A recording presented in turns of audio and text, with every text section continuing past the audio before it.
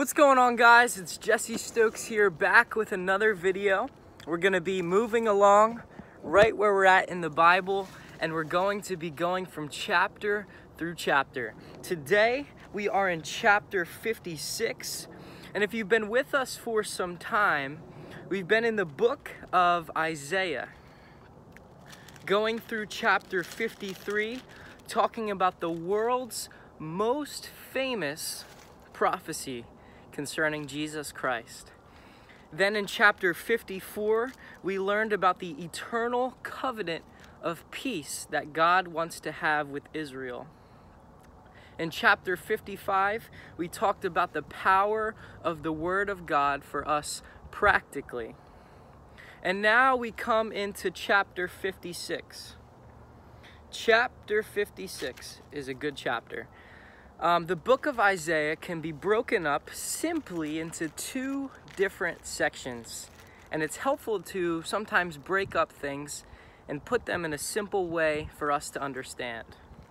So, a simple way to try to navigate your way through the book of Isaiah is to go from chapters 1 through 40 as the first section, symbolizing the Old Testament and chapters 40 through 66 as the second section symbolizing the New Testament. It's the very same way that the Bible was written in chapters 1 through 40, or books 1 through 40 is the Old Testament, and books 40 through 66, starting in Matthew to Revelation, is the New Testament.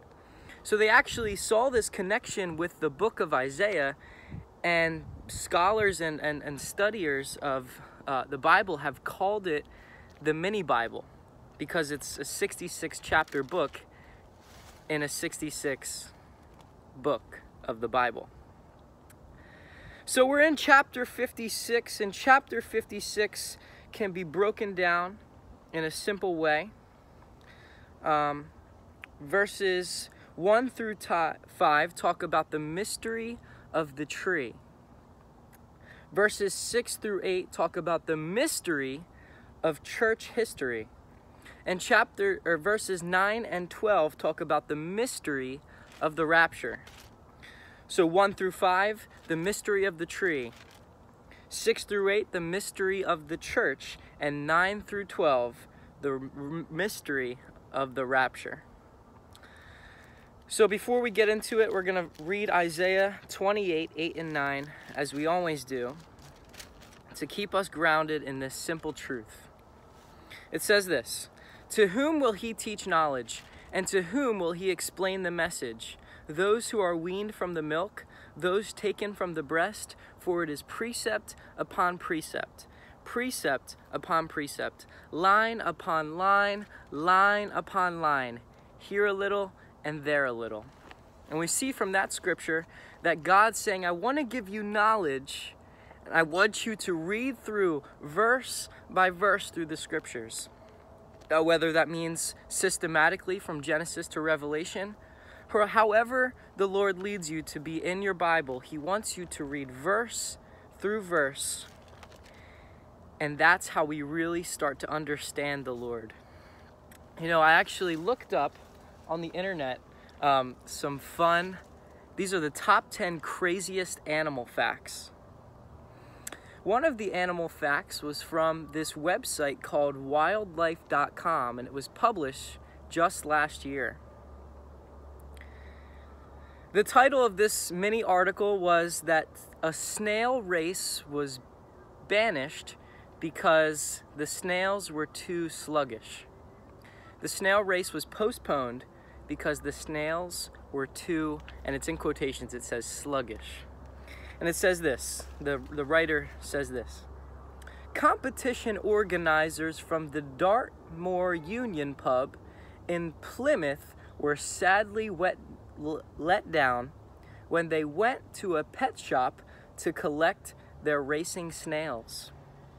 They were told that they were extra sleepy and therefore not fit to race. And then it says, happily, there were no such problems at the World Snail Race in the coming July. You see, there were snails ready to race, and they actually postponed the race because they the snails weren't going fast enough. And snails already are super slow. And I can't believe people even watch snail races. Like we don't do that in America. I feel like that's just kind of weird. I don't think I would really want to watch that, but I guess people are into it. But they postponed the race because the snails were just sluggish, not really moving along, just kind of inching over because they were too sleepy. You see, and, and, that's the sad thing that can even happen to Christians today. You know, we could be just moving along so slowly, never really taking that next step, not going forward, and just like a snail being sluggish and empty, and no one likes that. You don't like it, other people don't like it, and the Bible says that if you go and you and you take the scriptures verse by verse, then you will get understanding. Paul says in Philippians that I will run the race of faith, forgetting what lies behind and reaching forth to what lies ahead. So let us pray, and then we're going to go into Isaiah chapter 56. Father, I pray that you would teach us your word personally. Lord, you would show us exactly what you want to say. God, we would not waver or falter from the discipline of knowing you. Father, teach us to know you, not to go in works, Lord, but to rest in grace and just to operate out of the abundance and overflow of your love for us. And God demonstrated his love for us in that while we were yet sinners, Christ died for us. Father, open up our eyes. Holy Spirit power, come. In Jesus' name, amen. Verse 1 says this. Thus says the Lord, keep justice and do righteousness, for soon my salvation will come. Oh, and my righteousness will be revealed. Blessed is the man who does this, and the Son of Man who holds it fast, who keeps the Sabbath not profaning it, and keeps his hand from doing any evil. God here is saying to you and I today that my salvation, my deliverance, my redemption, heaven is coming soon. So keep going, Jesse. Keep taking that next step. Keep following me. Keep serving me. Don't quit because my salvation will come soon and my righteousness will be revealed. You see, God loves us, but He also wants to keep us on our toes because that's when we operate the best. You know, when I was younger, I really loved video games. I was totally into them. I spent most of my time obsessing about them. And if I wasn't playing them, I was watching a YouTube video about someone else playing that video game. But one of my favorite games was NBA, basketball. It was called 2K and they would have different years 2K15, 2K16. And when I was about 17 years old, there was something I wanted really bad. Christmas is coming up, and I actually put NBA 2K coming out in Christmas at the very top of my list. And I knew I didn't believe in Santa Claus, and I knew that my parents and my grandparents would get it for me but I wanted it so bad, I couldn't wait for the gift. So I all of a sudden became super obedient, super thankful, super loving, in hopes that I knew that NBA 2K17 with the new characters, the new updates, the new teams with LeBron James, I could use him. And I knew that it was coming soon, so I started to purify the way I lived. You see, that's exactly the way that Jesus Christ wants us to live our lives. The book of First John tells us in First John chapter 3, he says, He who has this hope purifies himself even as he is pure. When you're looking at Jesus, when you're waiting for him, when you know he's coming soon, it has a natural purification to our lives, a natural cleansing of things that I wouldn't have done otherwise if I didn't think he was coming soon.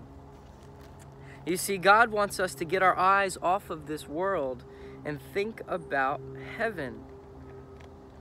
He says, My righteousness will be revealed. It's important to define what righteousness is. Righteousness means completely, fully right with God.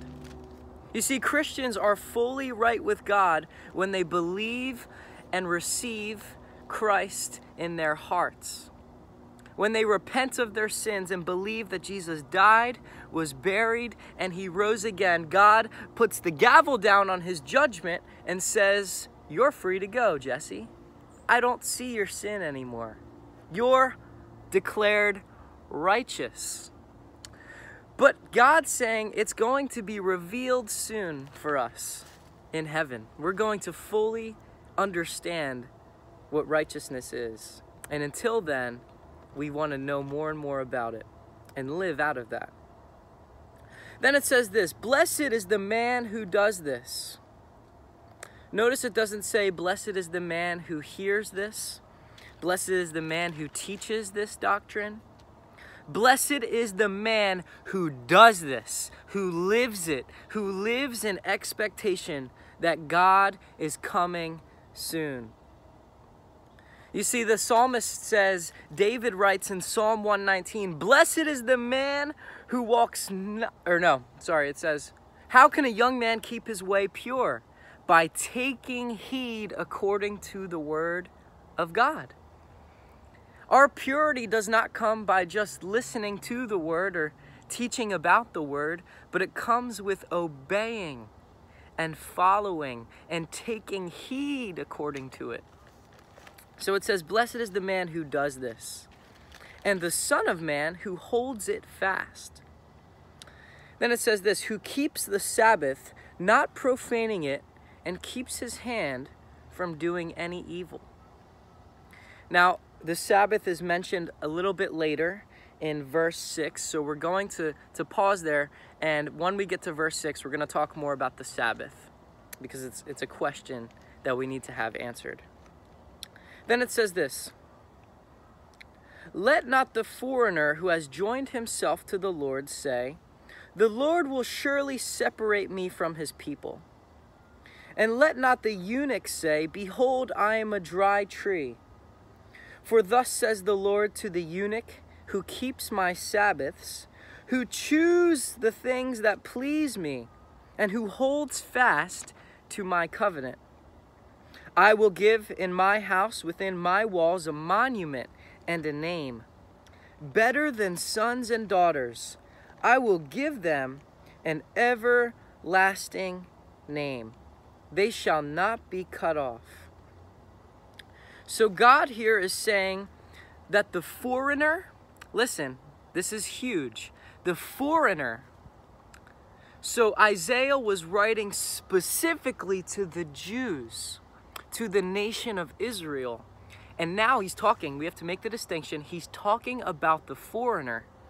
Now, the foreigner who has joined himself to the Lord. So that implies that one day other people can join themselves to the Lord that are not Jewish people. Speaking of the Christian who is joined to the Lord, and even not if they're Jewish. So the foreigner who has joined himself to the Lord, and let not the eunuch say, uh, the eunuch is someone that is not Jewish. That's another place. That's one of the kingly positions. Behold, I am a dry tree. So this is talking about I said in the beginning, verses 1 through 5 really are talking about the mystery of the tree. So, to understand this confusion, this mystery, Paul in Romans 9 through 11 explains simply and expounds upon Israel specifically. So open up to Romans 9 through 11. And in chapter chapter 11 verses 11 through 23 talk about this mystery of the tree. Now I want to explain this through an example and I hope this this helps. Uh, okay. So this is basically a very simple version of what God's talking about. This is called the mystery of the tree. And this is huge to understand. So there's a tree. Can you see the tree? This tree represents the nation Israel. God planted this vineyard specifically, and these pieces of the tree connected to the roots are Israel. You see, but then Jesus came to fulfill the things of, of God, but the Jewish people did not believe. They hardened their hearts. So Romans says that the branches were, he uses the word cut off. He says they were broken off. Some of the branches were broken off. So now these branches are falling off. They're dying. You see how they're all kind of falling off? Now the tree is empty, and there's no one who's connected to God. All the branches are dry. But then it says that God is going to graft in or insert in or put in another group of people. And he calls them the wild branches. Um, here we have a wild branch. You see how there's leaves connected? This is symbolism of the wild branch. Now, the wild branch is teaching us, Paul is teaching us that these are not necessarily Jewish people. This is a Christian.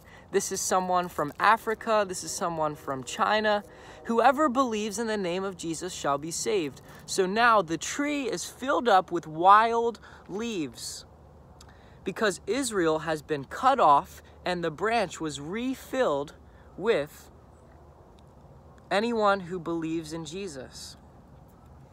And so Paul here is saying that the, the branch or the tree is a representative of the nation Israel being cut off for a moment and refilled up with the Christian.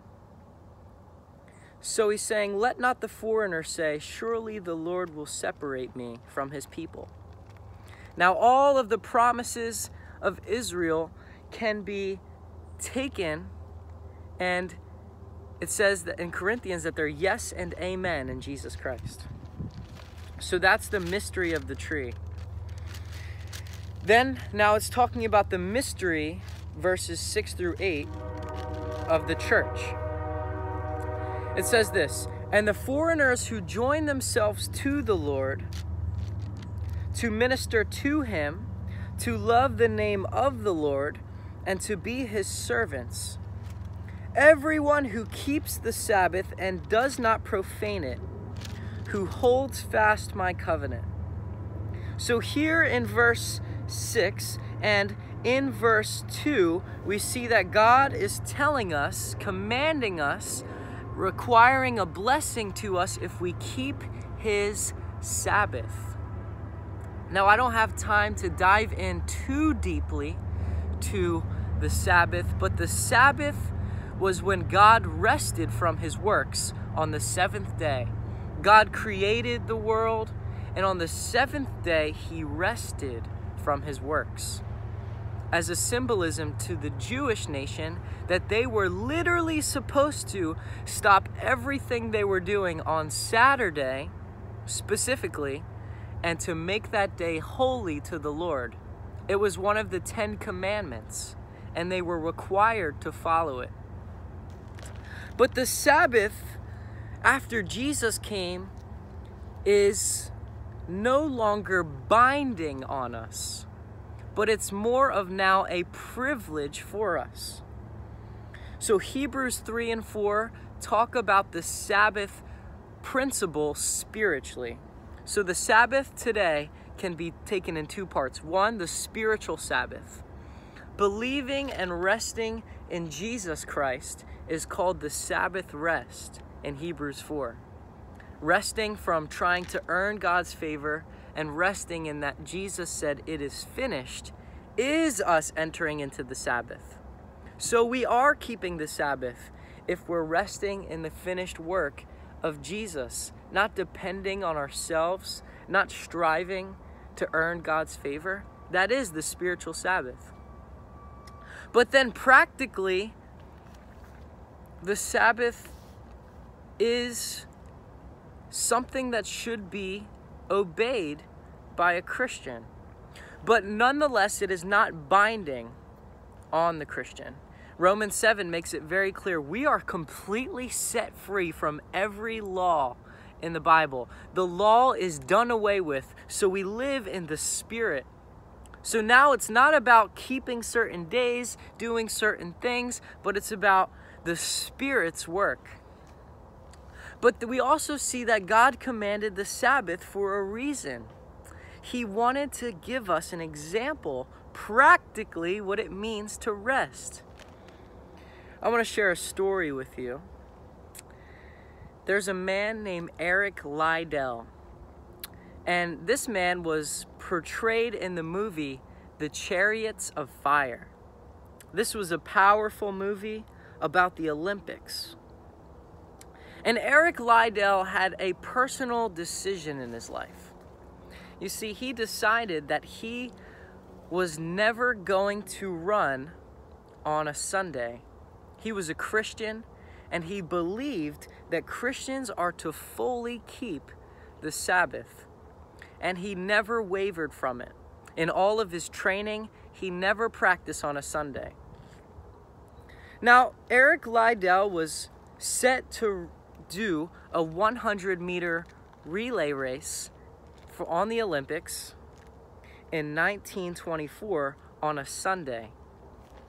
You see, but Eric Liddell was so strong in keeping the Sabbath because he believed in God. He based it off of a verse in um, Samuel that says, If you honor God, God will honor you. So the Olympic specialties, the Olympic authorities, and the Olympic head leaders tried to convince him to run on Sunday, or else they would have to reschedule all of the Olympic event. But Eric Liddell wouldn't budge. He said, Nope, I'm not running on Sunday. So it happened. They rescheduled him to run on a different day, but he couldn't run the 100 meter race anymore. They actually put him in the 400 meter, something he'd never trained in, never practiced in, and he was in the Olympics, people that practice this all the time. And he ran the race and he finished in 47.6 seconds, breaking the world record, which stood for 12 years. You see, the Bible says that blessed is the man who holds fast the Sabbath.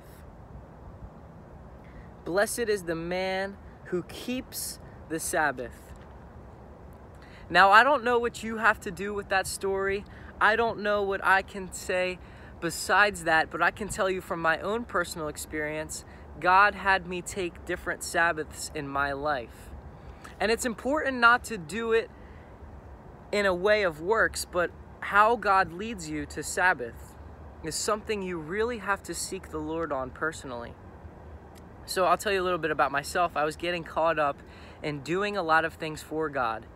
Now, my personality type, I actually took one of those little personality tests. I know they're kind of growing, you know. I'm a number three, which is an achiever. So part, I, know that's not who I am because I'm I'm what Christ says I am. So I don't, i I'm very careful with with psychology to not let it take any authority over God's word. But I do have a tendency, and I know myself enough that I love to do things. I love to do and achieve and accomplish and see results. That's what I love.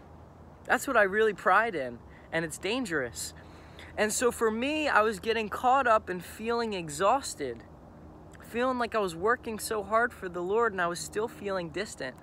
So Holy Spirit inside of me started to speak to me and tell me to just start taking naps throughout the day. Um, he had me take Sabbaths uh, once a week for a little bit, and he was teaching me a lesson that I was to just go to bed throughout the day. You know, I wanted to read the Bible, I wanted to do spiritual things, but God said, Look, just go to bed, just sleep. You know, David says he gives to his beloved sleep. And the Lord taught me just to rest throughout the middle of the day. And it was something that I was so like against because of my disciplined personality. I felt like I was like almost sinning. And God taught me through that season that God really wants us to have rest. And he taught me so many lessons through that that I can't explain. But God really wants us to seek him on how he wants us to rest. Maybe it could be for one day a week. It doesn't matter the day, but it, it is a good principle. I encourage you to set a day, if you want to do it, to have one day. Maybe you can't do Saturday. Um, sometimes if you're in ministry, you definitely can't do Sunday. But have one day where you really just leave your time open to do something different. I've heard it best said if you are um, someone who likes to be in the books or studies at a desk, it's best to Sabbath while doing work with your hands. And if you're working with hands, sometimes it's best to Sabbath with books. But the Sabbath principle is number one, spiritual, and number two, practical. And I, and I wanted to take a moment to talk about that. Sorry if I went a little long, but I, I really wanted to establish that because we don't really talk about the Sabbath in today, but I believe it's very relevant and God will honor if you keep it, just like He honored that man breaking the world record. It says this, verse 7, still talking about the mystery of the church. These I will bring to my holy mountain and make them joyful in my house of prayer. Their burnt offerings and their sacrifices will be accepted on my altar. For my house shall be called a house of what? Prayer for all peoples. God says two times that my house, my church, is for prayer. I have a really cute dog. Her name's Bridget. She is the most adorable dog I've ever had. I love snuggling up with her. I love spending time with her, rubbing her belly. Sometimes she rolls over if I'm rubbing her and she just goes on her back and it's like, oh, Bridget, she's so cute. I just love her. My sisters love her. My mom really loves her. She like loves sleeping with my mom. I used to kind of actually be kind of crazy with my dog. I would like scare her for fun. I'd be like, yeah, and she'd like jump back and I was just like, hey, got him. But now I realized I grew out of that kind of childishness and now I really respect Bridget and I love spending time with her. And when I was younger, I used to to just kind of trick her all the time. Like I'd fake throw the toy and she would run. But anyway, I loved Bridget and Bridget, my dog, she's fuzzy, golden, snuggly. She's really small. She's a King Cavalier Poodle. But Bridget has different purposes in my life. You see, one of the things is that I love her. And you have to ask, why do people have dogs? I think one of the reasons is that you love your dog. You spend time with affection. Another reason people have dogs is to snuggle with them. You love snuggling with your dog. Another purpose of a dog is that it goes potty all the time. something that you have to get your mind around is you're going to have to clean up some poop if you want a dog. Another thing you have to think of if you want a dog is that you have to groom it. You have to take it to the groomer and cut its hair and make sure it's well maintained. Another thing about a dog is that you have to train him to sit, to stand, to lie down. Sometimes you do the paw trick. But you see, the dog has many different purposes. But perhaps the main purpose that people have a dog is for comfort. They're very comforting to you when your life is stressed out. People like dogs for their comfort. And you see, dogs have different purposes, but they have many. But their main purpose is comfort. In the same way, God declares in the Bible, in Isaiah chapter 56, that my house, my purpose for the church, the mystery of the church, my house shall be a house, uh, a house of prayer. He says it again, I will make them joyful in my house of prayer. When Jesus went into the temple of Jerusalem, saw the money changers selling the things that weren't right, he walked in with a whip of cords. I think that's so cool. Jesus was probably just like, ready to go. And he just knocked everything down, flipped the tables, told everyone to get out. And he said, My house shall be called a house of prayer. And you've made it a den of thieves. So the church today, the the power, the mystery of the church is that it's a place where people are to gather together and seek the Lord in prayer.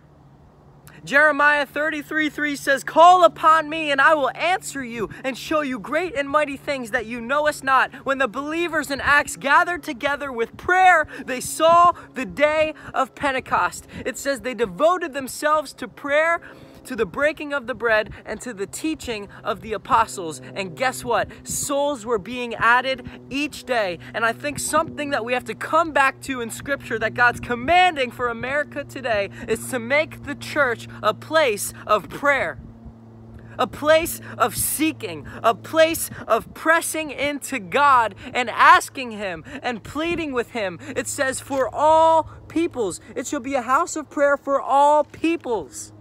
We are to be gathering, holding hands, and praying as a church.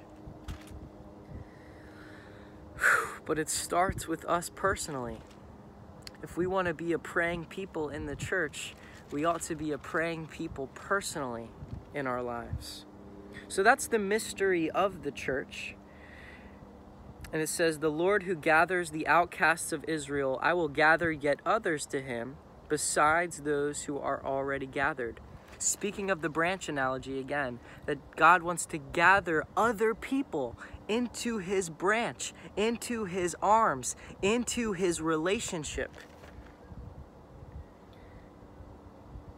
Jesus, when he went into Jerusalem after riding on the donkey, he, he came over and he wept. It says Jesus wept over Jerusalem, saying, Oh, Jerusalem, Jerusalem, how I would have loved to gather you like a mother gathers her, her chicks into her arms.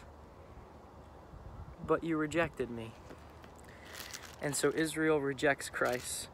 Now, verses 9 through 12 is talking about the rapture mystery, but it's also talking about the problems we have presently.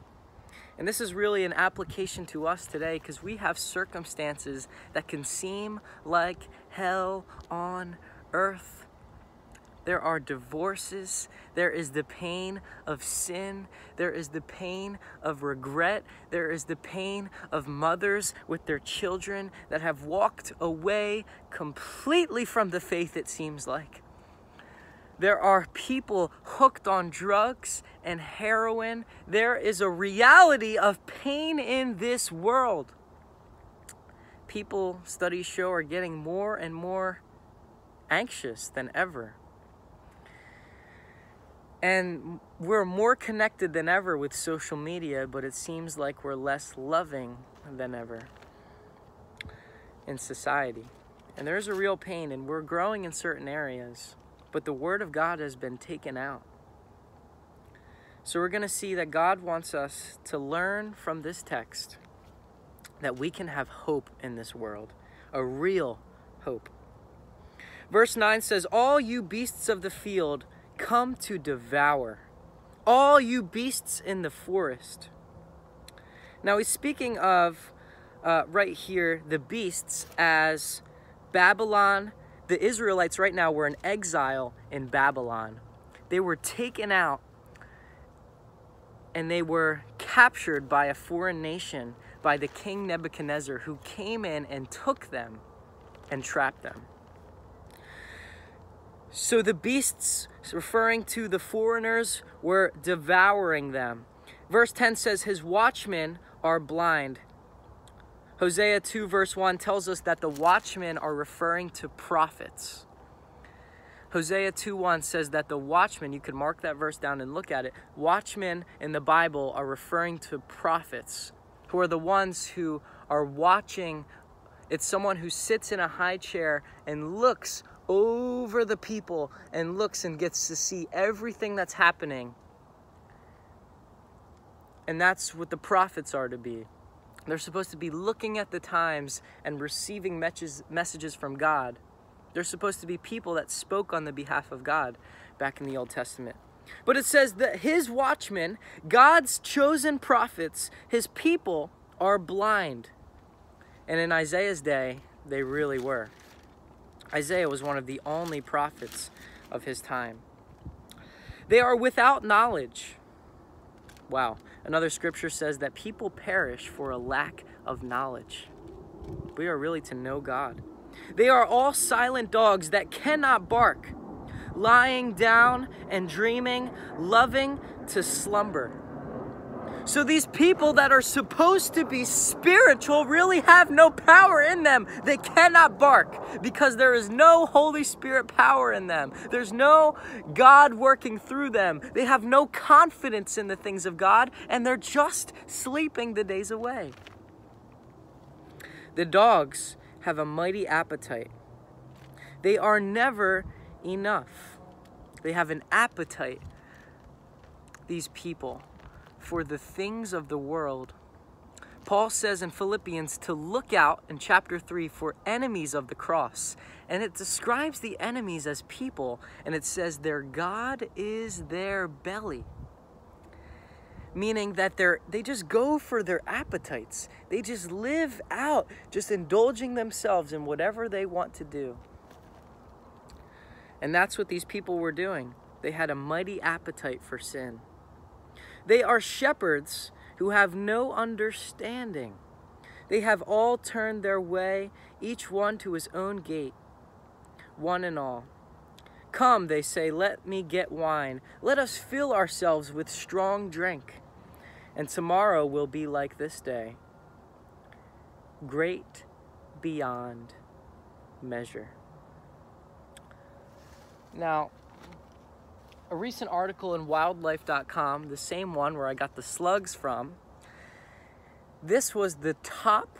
So, so this one was number two on the craziest animal stories, but there was actually an even crazier one published in 2008 on wildlife.com. The title is this it says American Airlines banned passengers from traveling with emotional support insects. I'll read that again because you might have missed it. Airlines banned passengers from traveling with emotional support insects. It says this in the article Insects aren't the only emotional support animals that the American Airlines banned. Emotional support amphibians, hedgehogs, and ferrets are no longer permitted. Okay, what? Yes, it gets crazier. It says this The move was a response to an 84% rise in urine feces, and aggression related incidents on planes in the past two years. So the airlines, they actually had to ban people from coming in, people from coming in with insects as their emotional support. Some people were bringing in hedgehogs, it says, and amphibians, and they started to pee on the plane. Can you just imagine? I want you just to imagine a hedgehog peeing on a plane right now. Okay, that is crazy. That is just nuts. You see, the world's going crazy. It says they're actually, it's not just urine, but it's feces and aggression related incidents. So that means that a ferret, it says one of the animals there was a ferret. So some idiot brought a ferret onto a plane and the ferret started like attacking someone. It was an aggression related incident. I mean, that's just crazy. So a ferret is like attacking someone on this plane. So now the AA says, look, we got to ban amphibians and insects. And I wonder what insects were, were coming on. Like someone's like, I got my emotional support wasp here, you know? He, he really helps me out. Like, what? That's just nuts and and God here is saying that all of the beasts of the field, all of the animals, the dogs that are having aggression related incidents, you know what? They're not going to last. And it says this, verse 12. And it would say this also that, that the people that are coming against you, that are aggression, having aggression on you, are, are tormenting you. Maybe it's your best friend, your closest friend you're having a problem with, and he's just not the same anymore. Or someone you look up to has fallen into a sin, and you look at them and you say, How can this be, God? And you see the people that you used to look to now become your enemies. The people you thought you were your friends, now that you're a Christian walking with the Lord, are looking at you and making fun of you. Or maybe it's the other way around. You are one of the dogs and you have a friend and you're putting him down when he's trying to really step it out in his faith. You see, and that's the situation that Israel was going going along with. And verse 12 tells us really why there was the problem. This is talking about the rapture mystery. It says, Come, they say, let me get wine. Let us fill ourselves with strong drink. And tomorrow will be like this day, great beyond measure. You see, this is exactly what Jesus says in Matthew chapter 24 talking about the end times. Verse 36 says, Concerning that day and hour, no one knows, not even the angels of heaven, nor the Son, but the Father only. For as it were in the days of Noah, there will be coming the Son of Man. For as in those days before the flood, they were eating and drinking, marrying and given in marriage until the day when Noah entered the ark. And they were unaware until the flood came and swept them all away. So will be the coming of the Son of Man. Then two men will be left in the field, one will be taken and one left. Two women will be grinding at the mill, one will be taken and one left. Therefore, stay awake, for you do not know what day your Lord is coming. But know this that the master of the house, that if the master of the house had known in what part of the day, of the night, sorry, in what part of the night the, the thief was coming, he would have stayed awake and would not have let his house be broken into. You see, God's saying to us today, the people in Isaiah's day were saying, Look, I'm just going to drink wine. Tomorrow's going to be another great day. I'm going to have all the fun in the world. And God says, Stay awake. Because Jesus Christ could come back at any moment. And two people, they're going to be, to be doing their thing. One person's going to be grinding at the mill, and then they're going to be just taken away just raptured up, caught up into heaven. First Thessalonians says that the dead in Christ will rise, then those who are alive will be caught up with Christ. And we know that the Bible teaches that the rapture will happen with the church. But for Israel, they will go through the tribulation. Let me make that very clear. Israel will not be raptured out. The nation Israel will go through the tribulation. The tribulation, this is a real key, will happen for three reasons. Number one, to wake up the nation of Israel. Number two, to shake up the heathen.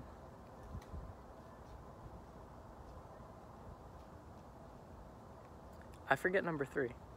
But it's gonna it, they're going to wake up the nation of Israel and they're gonna shake up the heathen. The church will be caught up for seven years. Then the tribulation will take place. God will come back. It says he will be coming with the saints who were caught up into heaven, come back, and then the battle will take place. Then the millennial kingdom. So let us pray and let us make application to us today that Jesus Christ could come back at any moment and that these people were falling asleep. And it's to challenge us to not fall asleep in our faith.